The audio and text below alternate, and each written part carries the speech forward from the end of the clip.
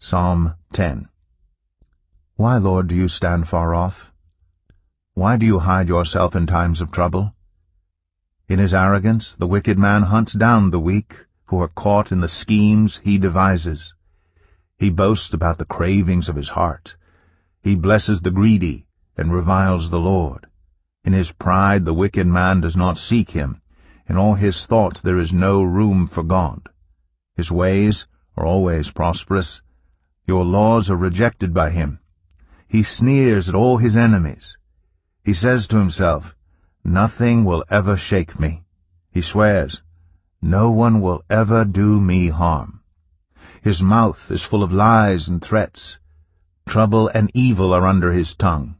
He lies in wait near the villages. From ambush he murders the innocent. His eyes watch in secret for his victims. Like a lion in cover he lies in wait. He lies in wait to catch the helpless. He catches the helpless and drags them off in his net. His victims are crushed. They collapse. They fall under his strength. He says to himself, God will never notice. He covers his face and never sees. Arise, Lord. Lift up your hand, O God. Do not forget the helpless.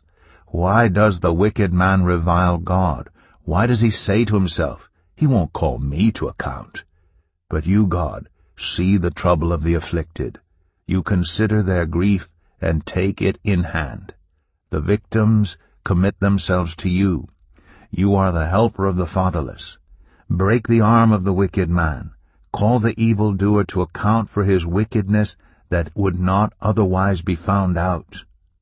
The Lord is king forever and ever. The nations will perish from his land. You, Lord, hear the desire of the afflicted.